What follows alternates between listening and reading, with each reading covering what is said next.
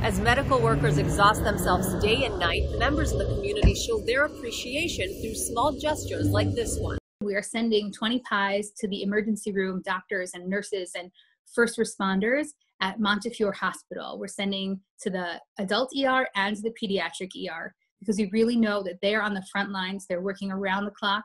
And we just wanted to say thank you and just give them a little bit of support, a, a virtual hug. In the form of freshly baked pizza from Caffuccino Bakery in Riverdale. Lucas Babic, who bought the bakery three years ago, has been supplying freshly baked goods for the Riverdale Minyan congregation.